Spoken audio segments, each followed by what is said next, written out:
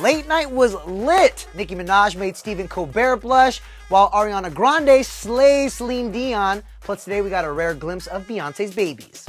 Guys, the claws are out today between Nicki Minaj and ex Safaree Samuels, and it's all playing out like an episode of Maury on Twitter. The heated back and forth started brewing after Nicki dropped some bombshells about her history with Safaree during an interview with Funkmaster Flex on Hot 97.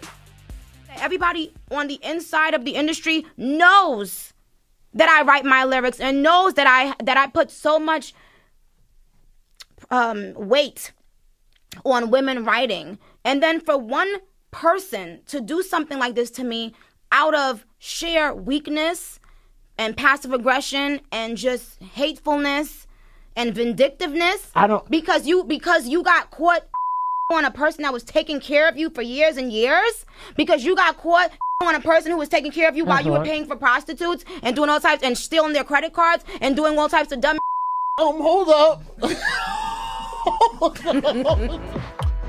Ooh, yes. Uh, the former couple broke up in 2014, but it sounds like these wounds cut deep because that's when Safaree tweeted, Remember the night you cut me and I almost died? The police and ambulance had to take me out the crib on a stretcher and I had to lie and tell them I was trying to kill myself so they wouldn't take you to jail. When things like that start happening more than once, it's time to dip. Well, Nicki fired back. You stole my card and told me you thought it was an account with free money that I didn't know about. On God. God will strike you down and more for lying. Ha! Stop saying you packed and left. On Jesus, you came to my house crying, begging to go with me to Europe to the EMAs. I said, no, dummy. And that is just a taste of their heated claims. Uh, among the most savage of Nicki's clapbacks was her admitting she never should have paid to fix his hairline and quote, God don't like ugly. you guys can head over to etonline.com to see that hot mess back and forth. I don't know what to believe. All right, but Nicki says she's switching back to the positive stuff about her new album Queen, so I'm gonna do the same. The rapper hit the late show with Stephen Colbert to promote the new music, and not even censors could keep Nicki from spitting some game to her favorite late night host with this flirty version of Barbie Dreams.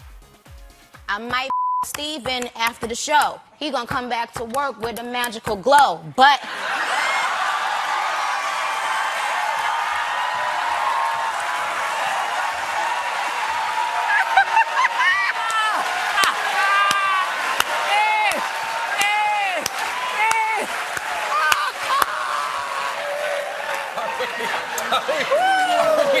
Are we still broadcasting?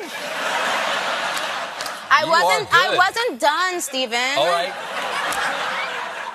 And and then the ending says, but when you see us, please don't stare. Just address me as Queen Nicki Colbert.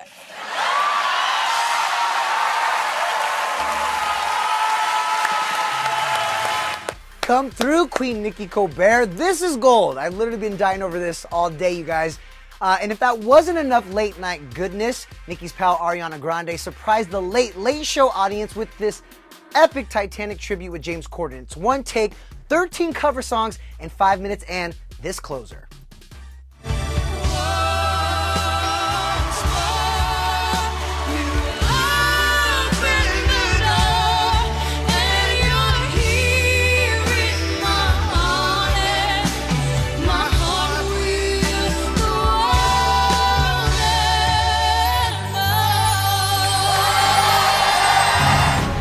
King of the world. Oh, thank you, Rick. My Jack. Love you. All right, that's just the tip of the iceberg, folks, because tomorrow is her carpool karaoke where Corden will belt out the Ariana lyrics he just memorized, and we'll find out how Grande's left hand, yes, the one with that $93,000 engagement ring from Pete Davidson, wound it up bandaged. But we're switching gears now to Beyonce. She recently covered Vogue's September issue, and it was apparently Take Your Kids to Work Day for the mom of three. Vogue shared a behind the scenes video of the shoot with photographer Tyler Mitchell. And not only did the Hive get to see Queen Bee let loose like never before, we also got a rare glimpse of the Carter kids, Blue, Rumi, and Sir, who are all on the set. I'm gonna zoom in for you guys, okay?